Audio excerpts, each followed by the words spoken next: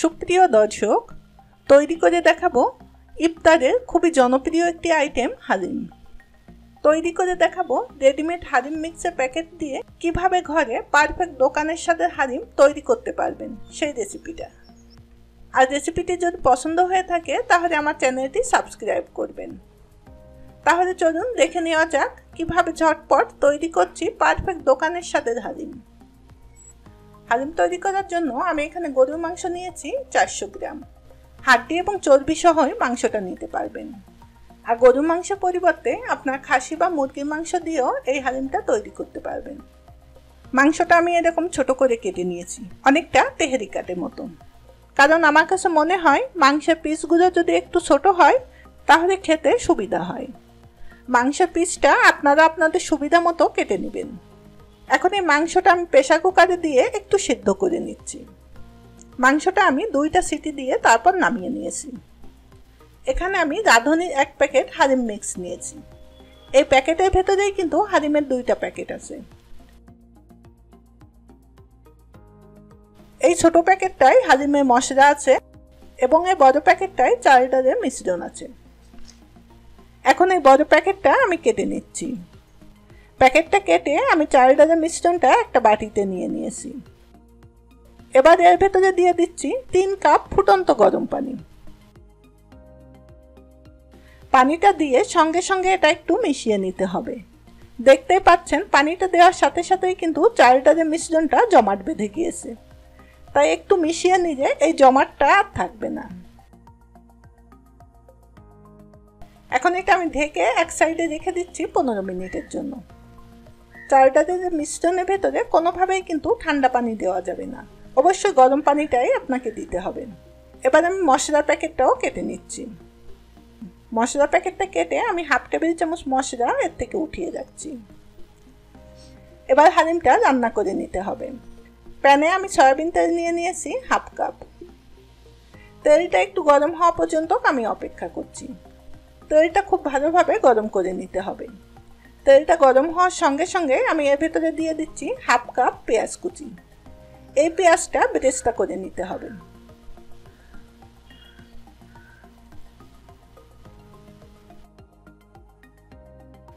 পেঁয়াজটা ভাজা হয়ে গিয়েছে, এখন এর থেকে আমি প্রায় তিন টেবিল চামচের মতো পেঁয়াজ বেরেস্তা উঠিয়ে যাচ্ছি। এই পেঁয়াজটা আমি ডেকোরেশনের সময় ব্যবহার করব। এবারে পেঁয়াজ বেরেস্তার ভিতরে দিচ্ছি এক চা চামচ আদা বাটা এবং এক চা চামচ রসুন বাটা। এখন এই আদা এবং রসুনটা একটু কষিয়ে নিচ্ছি। কয়েক সেকেন্ড একটু কষিয়ে নিয়ে এর ভেতরে পানি দিয়ে দিচ্ছি হাফ কাপ। এই পানিটা আমি মাংসটা সিদ্ধ করার পরে যে পানিটা বের হয়েছে সেই পানি থেকেই আমি হাফ কাপ পানি নিয়েছি। সঙ্গে সঙ্গে দিয়ে দিচ্ছি হালিমের মশলাটা।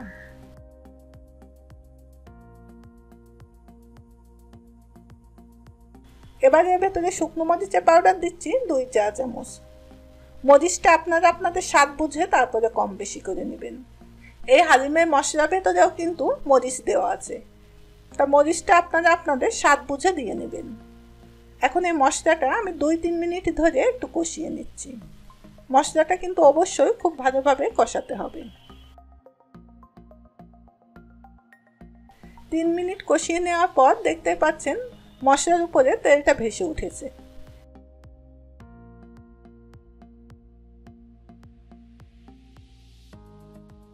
এখন এর ভেতরে সিদ্ধ করে রাখা সে মাংসটা দিয়ে দিচ্ছি। মাংসটা দিয়ে এটা আমি আরও কিছু সময় একটু কষিয়ে নিচ্ছি। আপনারা চাইলে এখানে মাংসের পরিমাণটা আরও একটু বাড়িয়ে দিতে পারেন। প্যাকেটের গায়ে কিন্তু তিনশো গ্রাম মাংসের কথাই দেওয়া আছে। তিনশো গ্রামের জায়গায় এখানে পাঁচশো গ্রাম পর্যন্ত মাংসও ব্যবহার করা যাবে।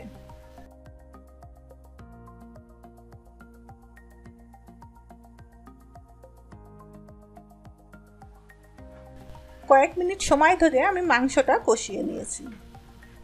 এবার আমি এর ভেতরে পানি দিয়ে দিচ্ছি দেড় কাপ। পানিটা আপনারা আপনাদের প্রয়োজন অনুযায়ী কম বেশি করে নেবেন। এই পানিটা কিন্তু মাংসটা সিদ্ধ করার সময় যে পানিটা বের হয়েছে সেই পানিটা।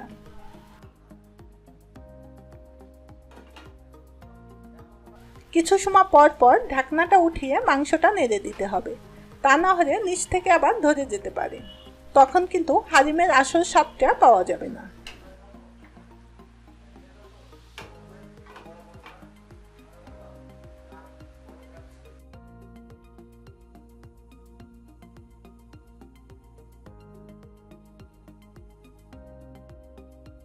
এই মাংসটা কিন্তু খুব ভালোভাবে কষিয়ে নিতে হবে।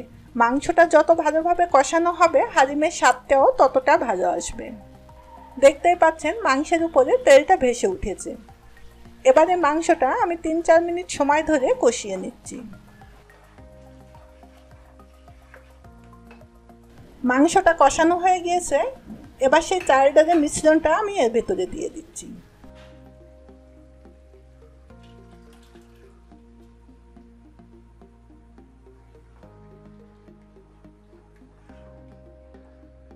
বাটিটা ধুয়ে আরও এক কাপ পানি আমি এর ভেতরে দিয়ে দিচ্ছি।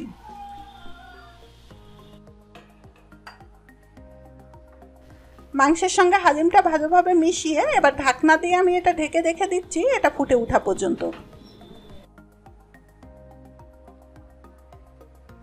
এটা ফুটে উঠেছে, আবারও একটু নেড়ে দিচ্ছি। এটা কিন্তু বারে বার নেড়ে দিতে হবে, তা না হলে নিচ থেকে এটা ধরে যাবে। এবার গ্যাসটা মিডিয়ামের থেকে একটু কম রেখে চাল ডালের মিশ্রণটা সিদ্ধ হওয়া পর্যন্ত আমি অপেক্ষা করছি। আর এর মাঝে তিন থেকে চারবার এসে হালিমটা নেড়ে দিতে হবে।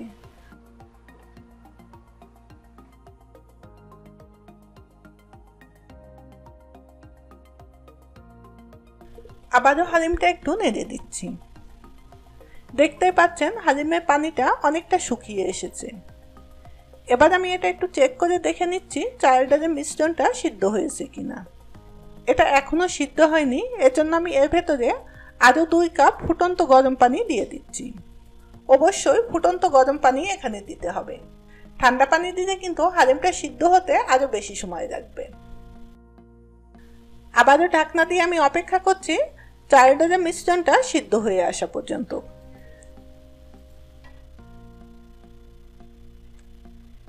এবার কিন্তু চাল ডালটা ঠিকমতো সিদ্ধ হয়ে গিয়েছে।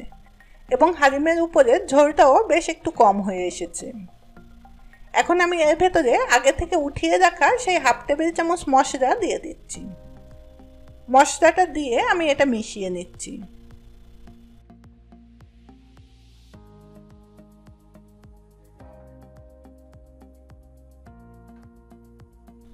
একটু চেক করে দেখে নিচ্ছি লবণটা ঠিক আছে কিনা। লবণটা কম থাকায় আমি আরও হাফ চা চামচ লবণ এর ভেতরে দিয়ে দিচ্ছি। হালিমের ঘনত্বটা দেখে নিশ্চয় বুঝতে পারছেন এটা আমি কতটা ঘন রেখেছি। এবার এটা আমি নামিয়ে নিচ্ছি। এখন গ্যাসের উপরে আমি অন্য একটা ফ্রাই প্যান গরম করতে দিয়েছি। ফ্রাই প্যানটাও গরম হয়ে গিয়েছে। এবার এর ভেতরে আমি সয়াবিন তেল দিয়ে দিচ্ছি অন ফোর্থ কাপ। তেলটা গরম হওয়া পর্যন্ত আমি অপেক্ষা করছি। তেলটা খুব ভালোভাবে গরম করে নিতে হবে। তেলটা গরম হয়ে গিয়েছে, এখন এর ভেতরে দিয়ে দিচ্ছি চারটা শুকনো মরিচ। রসুন কুচি দিয়ে দিচ্ছি হাফ টেবিল চামচ। রসুন এবং মরিচটা একটু নেড়ে নিচ্ছি।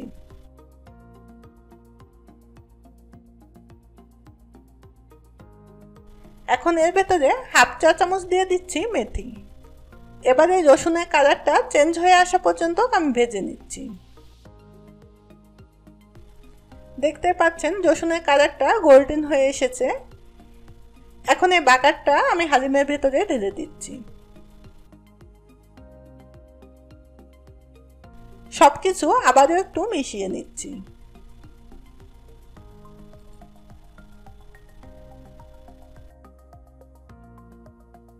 এখন ঢাকনা দিয়ে ঢেকে আমি এটা দমে রেখে দিচ্ছি পাঁচ মিনিট। ফিরে আসছি পাঁচ মিনিট পর।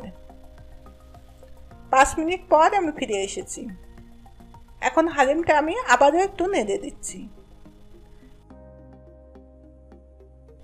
আর এর ঘনত্বটাও আমি আপনাদেরকে একটু দেখিয়ে দিচ্ছি।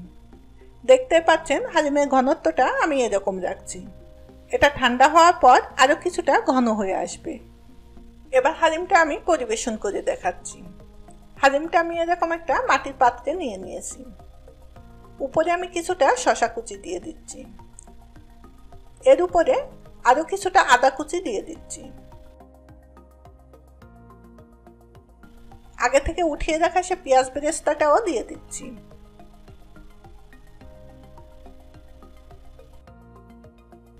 উপরে কিছুটা ধনে পাতা এবং কাঁচামরিচও দিয়ে দিচ্ছি। পরিবেশনের আগে অবশ্যই লেবুটা দিয়ে পরিবেশন করবেন। তৈরি হয়ে গেল আমার রেডিমেড হালিম মিক্সের প্যাকেট দিয়ে পারফেক্ট দোকানের সাথে হালিম।